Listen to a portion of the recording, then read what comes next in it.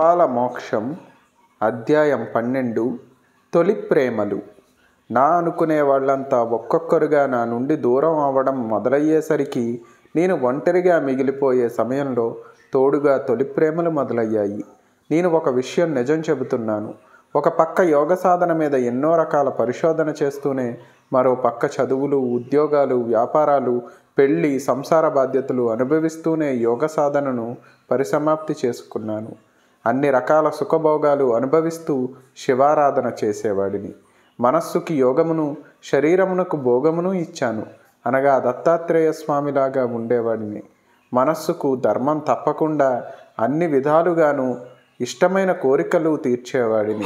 ఆనందపడేవాడిని. ఆ తర్వాత బాధపడేవాడిని ఇబ్బందులు పడేవాడిని అనుభవ పాఠాలు నేర్చుకునేవాడిని. ఆపై వాటికి స్వస్తి చెప్పేవాడిని. అది ఎందుకు చేయకూడదు? ఎందుకు ఇలా చేయాలి అలా ఎందుకు చేయకూడదు? ఇలా నాకు నేనే ప్రశ్నలు వేసుకుని నానాతంటాలు పడేవాడిని పరిశోధన చేసేవాడిని ఫలితాలను రాసుకునేవాడిని నమ్మిన వారికి చెప్పేవాడిని నమ్మిన వారి వద్ద నుండి వారి కొత్త కోణాలను తెలుసుకుని ఆ విధంగా కూడా ఎందుకు పరిశోధించకూడదని మళ్ళీ పరిశోధన చేసేవాడిని తిరిగి ఫలితాలు మార్చి రాసుకునేవాడిని. ఎవరికి అర్థం కాని వాటిని ఎవరితోనూ చర్చించేవాడిని కాదు. నాలో నేను ప్రయత్నించేవాడిని. అమ్మ ప్రేమ నుండి అమ్మను చేసే ప్రేమ అంటే భార్య ప్రేమ దాకా అన్ని రకాల ప్రేమ భావాలు అనుభూతి పొందాను. ఇన్ని రకాల ప్రేమల్లో నాకు బాగా నచ్చిన ప్రేమ మాత్రం ప్రేమికుల మధ్య నుండే ప్రేమ భావానికి ప్రథమ స్థానం ఇస్తాను.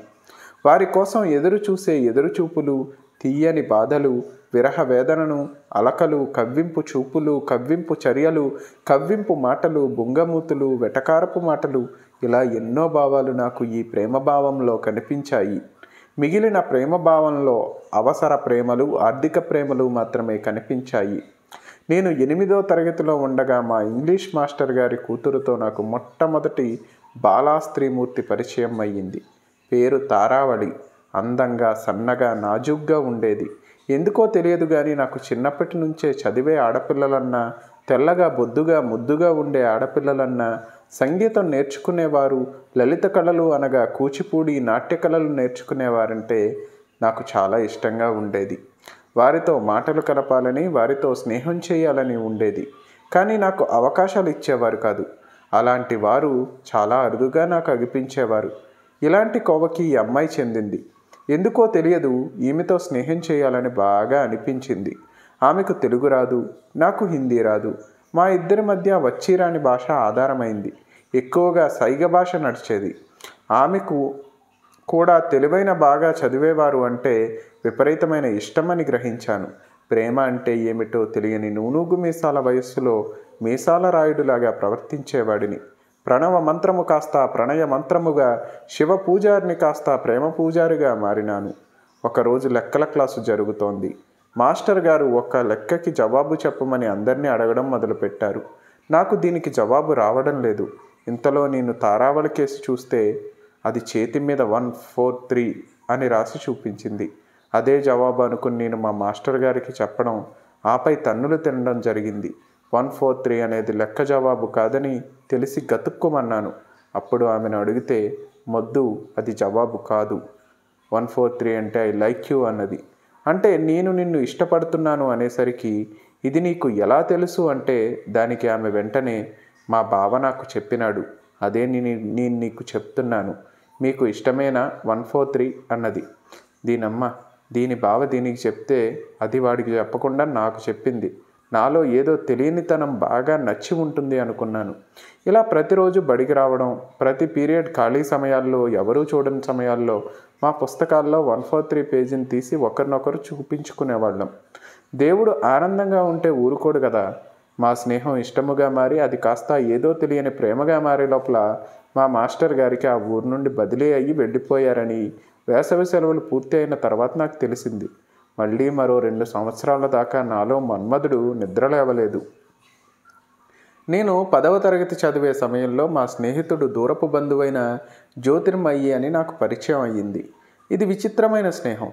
ఆమె సంవత్సరంలో మా ఊరి ఈమె సంవత్సరంలో మా ఊరి జాతర జరిగే సమయంలో మా ఊరికి వచ్చి ఐదు గంటలు మాత్రమే ఉండి వెళ్ళిపోయేది. మళ్ళీ సంవత్సరానికి జరిగే జాతర సమయంలో తప్ప ఎప్పుడూ కనిపించేది కాదు. అంటే ఇది జాతర స్నేహం. మొదట్లో మాట్లాడేది కాదు వాళ్ళ ఇంటి బయటకు వచ్చి మా ఇంటికేసి చూస్తూ నేను ఎప్పుడు బయటకు వస్తానని గంటల కొద్దీ ఎదురుచూపులు ఎదురు చూస్తూ ఉండేది. నేను కనపడితే అదోలా చూస్తూ కనుసైగలతో అన్నీ మాట్లాడేది. కవ్వింపు చర్యలు కవ్వింపు చూపులు ఉండేవి. గుడికి వచ్చి కొబ్బరికాయ కొట్టి నాకు టాటా చెప్పి వెళ్ళిపోయేది. అదియే ఆ సంవత్సరానికి ఆఖరి చూపు. అంటే మళ్ళీ ఈమె కోసం సంవత్సరం అంతా ఎదురు చూసేవాడిని. మళ్ళీ యథావిధి. అంతే. మాటలు ఉండవు. కనపడితే నవ్వడం కవ్వింపు కళ్ళతో ఎదురుచూపులు ఉండేవి. నేను మాట్లాడాలని ఎన్నో విధాలుగా ప్రయత్నించిన ఉపయోగం ఉండేది కాదు. అలాంటి సమయంలో మెయిన్ ఎగ్జామ్స్ జరుగుతున్న సమయంలో ఒకరోజు ఈమె నుండి ఒక ప్రేమలేఖ అందుకోవడం జరిగింది. అదే నా జీవితంలో తొలి ప్రేమలేఖ. అయితే ఆమె రాసిన భాషా విధానం నాకు అర్థం కాలేదు. నా స్నేహితులు చాలా కష్టపడి చదివి నాకు వినిపించారు. అది తెలుగే కానీ తెగులు పట్టింది. తొలి ప్రేమ సినిమాలో తమ్ముడు తన అన్న ప్రేమ కోసం రాసిన ఉత్తరంలాగా అర్థమై అర్థము కానట్లుగా ఉన్నది. నేను వెంటనే ఏదైనా ఉంటే మాటల్లో చెప్పు. కానీ మళ్ళీ అన్నటికీ ఉత్తరం రాసి మమ్మల్ని చంపవద్దని ఆమెకు తిరిగి ఉత్తరం రాసి ఇచ్చినాను. మాటలు కలిశాయి. పరీక్ష ఫలితాలు వచ్చాయి. స్కూల్ ర్యాంక్ రావాల్సిన చోట ఫస్ట్ క్లాస్ మాత్రమే వచ్చింది. ఇంట్లో తిట్లు మనస్సులో తీయని దురద. మరుసటి సంవత్సరం ఆమె నుండి ఉత్తరం రావాల్సిన చోట శుభలేఖ వచ్చింది. నేను గతుక్కుమన్నాను. ఆమె మరో ఇంటిది అయింది. అయినా నాకు ఆనాడు బాగా బాధ అనిపించలేదు.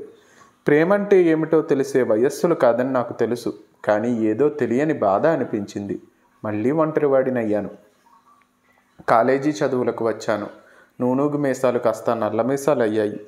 ఏదో తెలుసుకోవాలనే వయస్సులో ఏవో అనుభవ అనుభూతులు పొందాలనే తపన తాపత్రయాలు నా మనస్సుకి వచ్చేవి. రాత్రి వేళలో మన మన్మధుడి ప్రభావం వల్ల నాకు తెలియకుండానే అర్ధరాత్రి పూట గాఢ నిద్రలో జరిగే ఒక విధమైన చర్య వలన నిద్ర పట్టేది కాదు.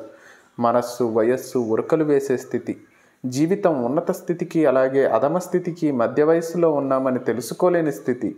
ఏదో కావాలని ఏదో ఒకటి పొందాలని ఏవో అనుభవాలు కావాలని స్నేహం కావాలని ఓదార్పు మాటలు కావాలని సానుభూతి కావాలని మనస్సు మదనపడుతున్న సమయంలో నా చదువు కొనసాగుతుండగా ఒకరోజు నాకులాగానే ర్యాంకు కోసం తపనపడే నా సహచర విద్యార్థి అయిన రాధాదేవి నా దగ్గరకు వచ్చి నోట్ పుస్తకాలు కావాలని అడిగి తీసుకుంది. మాటలు కలిశాయి స్నేహం కుదిరింది. ఆమె చెప్పే తీయని తీపి మాటలు వినాలని మనస్సు ఆరాటపడటం జరిగింది.